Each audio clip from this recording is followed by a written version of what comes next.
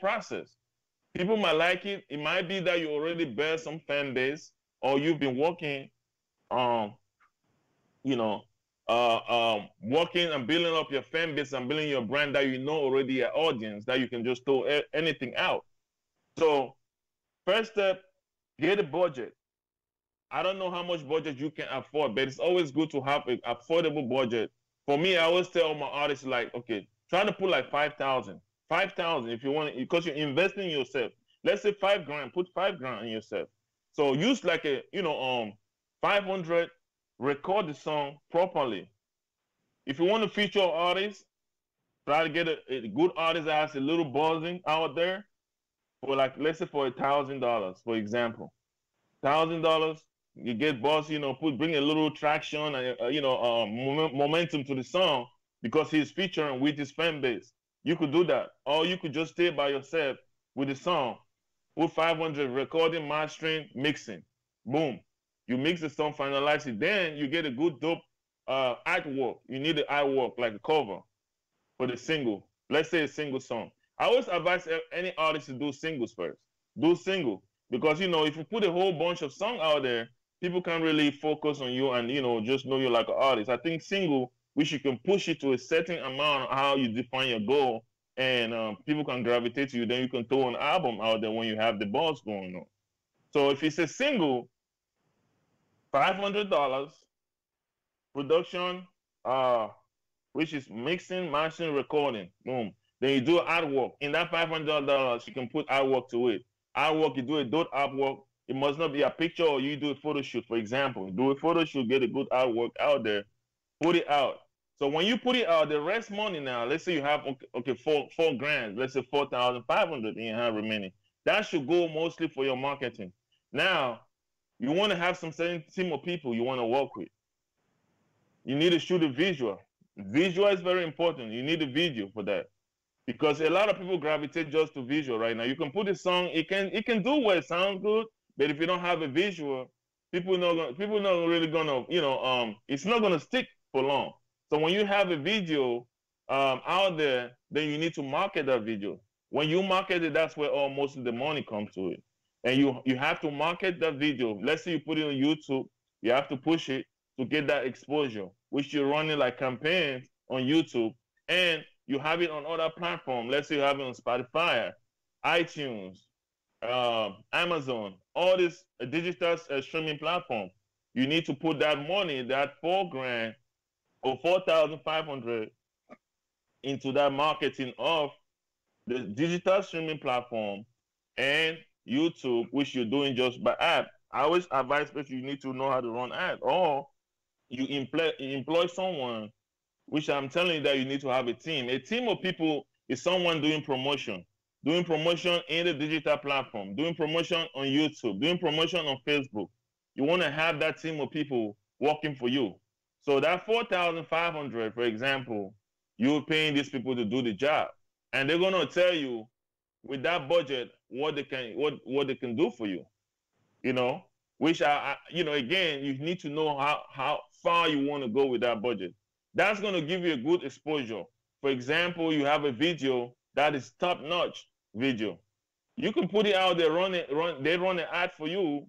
That video goes up to like you know, people gravitate to it. So now they're building a fan base for you. You need to understand now. You're looking now. Go and look those data that the comments, the likes. Then since they run the ad, they have to be giving you those data for you to see your niche. Who's really liking? Who's following you? Where your fan base is coming from? Where where your fans are. So again, knowing that you can tell them that you know, okay, I want to target just the people in my area. If I come from, you know, for example, you're uh, from Kansas or, or St. Louis, I want to target people in the Midwest. Midwest, you know, I want to have those fans there because it's near to me. I can go do bookings or do shows.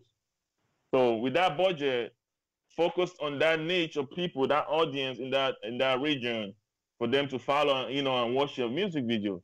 That's how you you create now a shared fan because now they're seeing, oh, she got some talent and she got good product.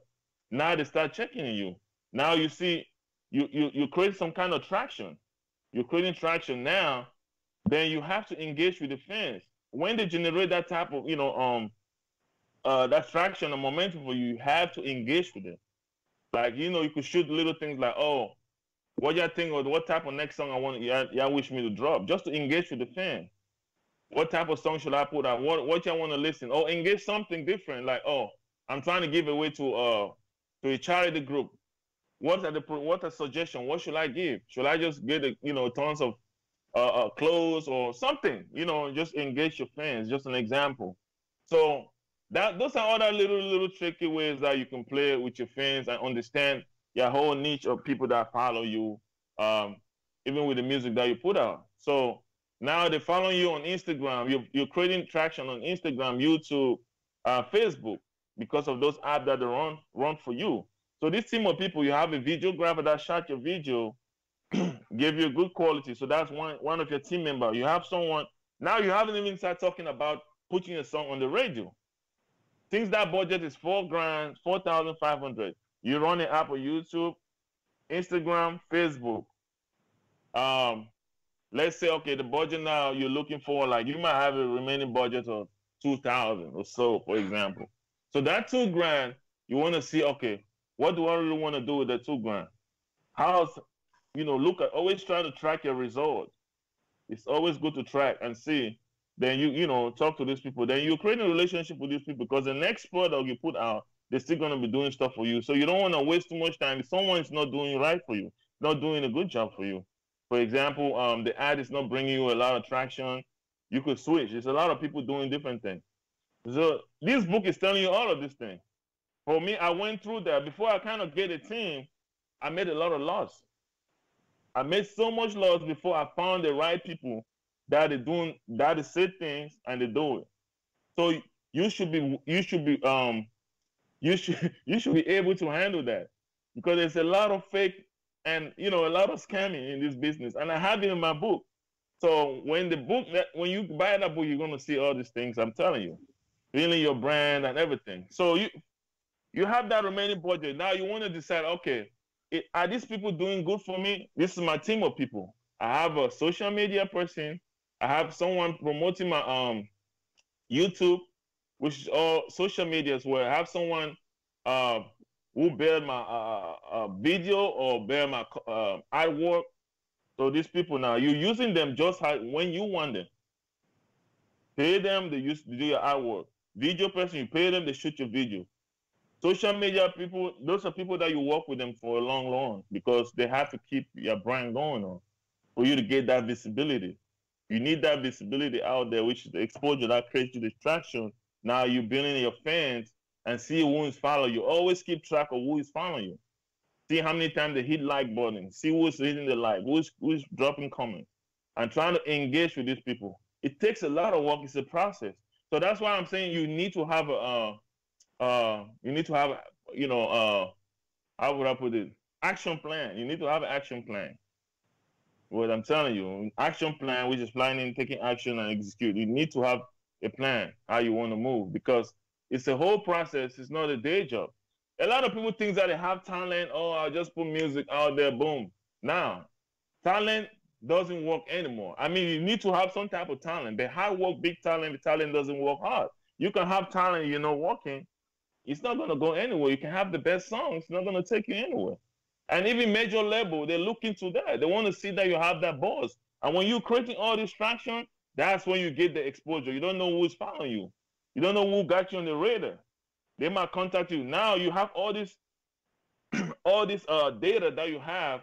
Oh, I have a good fan base. For example, I have Instagram. I have a good fan base. In YouTube, I have real followers, organic followers follow me. I'm seeing some type of traction. And uh, Facebook. Now you want to see, okay, is it the right time for me to contact a major label and take meetings? You want to probably want to take meetings with a major label to present your work out there. So you want to take it and you need to look for where major label they don't sit with you for a meeting. You have to have some budget to even sit with them. And you they will listen to your meetings, but they're not going to give you too much time. So when you come, you have to come with all this data and present to them. I'm buzzing in my city. This is this, this is that, this is that. So how can we work? How can we do, you know, for example, the book, my book is going to tell you what type of deal you could sign like an independent artist, even when you're a major artist, what deal they give you, for example. So That's what I'm saying. Then the budget that you have, you want to see, okay, do I go to a radio or do I uh, do online radio? There's a lot of online radio that you, you can get exposure as well for free, you know. But you need to have, uh, uh, you know, a plan. So online radio, you could Google, check out online radio. You have DTR radio. They play your song digital, and you get the royalty.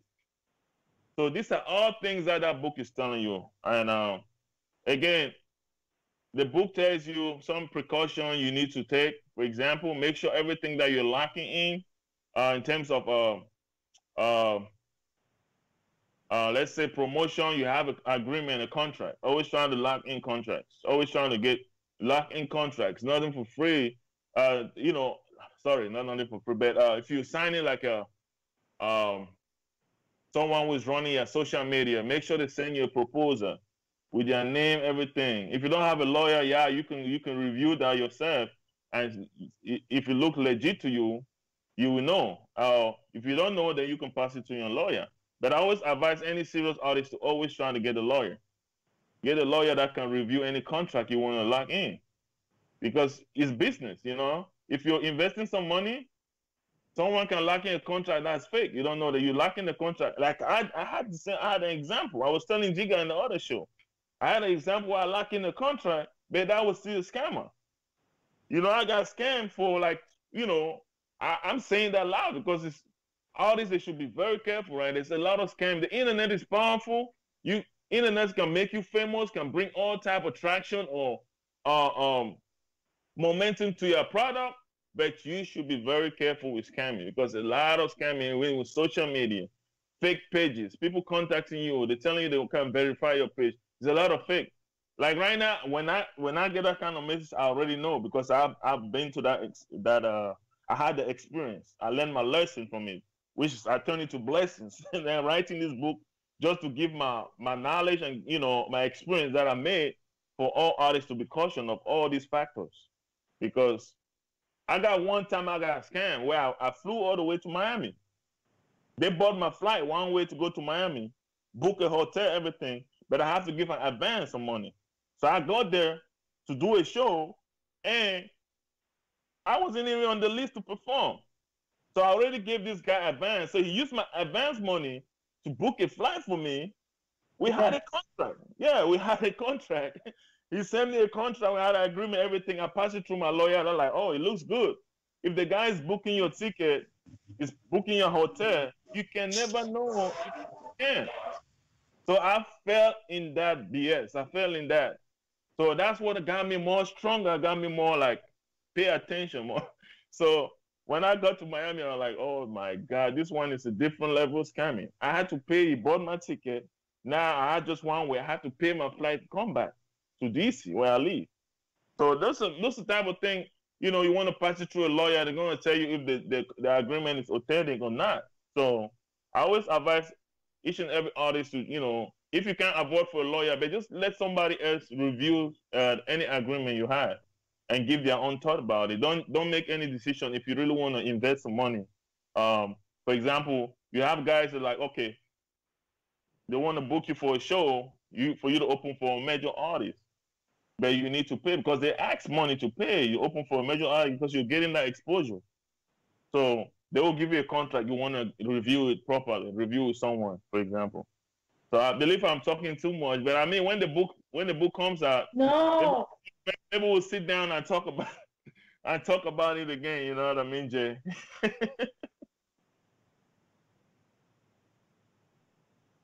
I think you're on mute. I think your phone is mute. Is that yeah, on now? I can hear you okay, now. Okay, th- this is the first time I have ever heard you so passionate, so so informative. Um, all the other times I've talked to you, you've been like this uh, caged up box, and now I can see that you love what you do and you actually want to help other people. Thank you so much. this, out of all the times I've ever talked to you, this is my favorite because I, I got you to come out of your comfort zone and okay. I got you to talk. right. yeah, I, yeah. I try to keep it a little cordial. I'm just trying to keep it warm because I know it's an interview, and if I'm talking about a book, I know I don't have the book at hand right now. When I have the book out, because I have it's on my social media, so I'll go each and every chapter and I explain. So, but you strike me. You know how you strike me for me to talk because you said you have a song you're trying to put out there. So me, I'm I got a big heart. I would tell you, even though I'm saying to go buy my book, that you carrying the conversation, I would tell you, you know, what steps you know you, you, you can take to put yourself and be visible out there. Because you asked me that question and uh, we have I have the relationship already with Jiga. We you know from different interviews that I've done, and I believe you know it's only right for me. I don't I will never lie to any artist. If I can't do something, I always tell my artist I can't do it. Or if I don't have the budget to do something, I'll be honest. I don't I don't I don't I don't fake because when you fake in the long run, it's gonna it's gonna catch up with you later. And um, the same thing with this business, but it's a lot of fake. The industry is all full of bullshit. There's a lot of people bullshitting a lot. So that you should be able to, you know, be prepared to have a tough skin. Like, you know, people will tell you stuff, they don't do it. You know. So for me, I just try to dominate what I'm doing. I try to be a dominator. I don't try to compete with no one. I dominate my sector. That's what I put it. If I like, I'm writing the book. I would tell you, well, how what, what is what is your brand? What is the brand? How can you brand yourself? Understand the industry because you know what? Understanding the industry is I've been there. I was signed with Sony Music. I was signed with Sony Music on a deal, the song that I have with Kevin Gates. You know what I mean? So I know the in-depth what is the process, what type of budget they're looking forward, what type of deal they can give you, what type of contract you, you can be under a major level, or you stay independent. I chose to be independent. I chose to go back independent. I quit the I quit the deal because you know what? I felt like, oh, I need to take my career in my own hands because I don't want to put it you know what they did? I was having meetings. They give me meetings every week. Staffing meeting. The staffing was good. That was a good thing I learned being under contract with the major. The staffing and the production. The production was sold on top notch. They're making sure that you have a top notch production where it can't go wrong. Once they put it out, it can't go wrong with the production of your music. When the, it goes on the radio, you listen to, you want to listen to it again. I can't count how many times I record one single my verse, which is 16 bar, I recorded like 10, 20, 10 to 15 times. Just to put like once, like I'll say J, uh, for example, they'll say no, swish it, bring it, deep, push it out from the stomach, you know.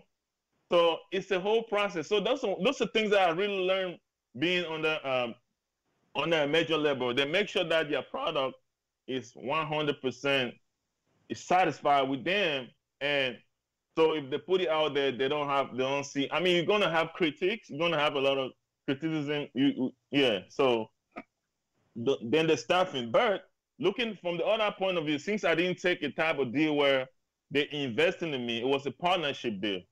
So I decided that you know what, I can do this stuff. I was already build, building my stuff before before I went with them. They were interested with the single I have with Kevin Gates. So I was like, you know, I I'll do it myself. I'm a DIY person. Let me do it myself. It's going to take a longer time to process, but I believe that will be satis- uh, satisfying and be successful because I understand the route. I understand what it takes. But you know, now I give you my career. You guys are under. I'm under contract with you. I have to always report. I have to always tell you. I can't put music like that. That's another thing being under contract. You can't just drop any music like that. You have to tell them, and they have to sit down with you. Each and every project, they have to sit down with you to have a proper planning and goal for each project, a song or a whole project. So that's what all this book is telling you. I'm telling you because I made this experience, you know, um, and I want to share with all aspiring artists that are serious about the business and learn how to make money with music or whatever product. For example, you can have mesh product, you can have t-shirts, you're trying to sell or what type of product you want to put out. This book can direct you in terms of you know understanding your branding and learning what route you should take or what type of contract, uh, what type of precaution, or you know kind of team you need to to build. The perspective or the direction is music, but generally speaking, you could use the same route and direction I'm giving this book in everything you're doing in life. You know what I mean? When it comes to building a brand or business, you know what I mean? For example, if you want to do, if you want to, you know, let's say you want to, you want to, okay, be a social media marketer, for example. You want to market, you know, market, you know, use social media to market artists. You still need to sit down to plan and properly build a, a, a base or build a website, for example, that is showing your brand, that is showing your work or showing the experience, because you need to sit down and learn and understand how to market an artist. So it's still the same thing, which I said is planning, action, and execute. You need to understand what type of market. You need to understand how to build traffic. You need to understand how to run advertisement. You need to understand, you know, uh, what precaution you need to take to, you know, avoid certain things not to go wrong, which is the skills management. You need to understand how to manage timing. You need to understand all those things. So this book, I put it in my own words, but it contains everything I'm saying right now, which you can use it from day to day life and day to day business that you run. You know what I mean? You're still muted. I can't hear you. oh, it's been been definitely an interesting location, let me tell you. but you know what? This this has been my very favorite favorite. Um, I, I wish I wish I wish we could do it face to face. I wish I wish we could do it face to face. Yeah, but uh, I think you're breaking up. Interesting back around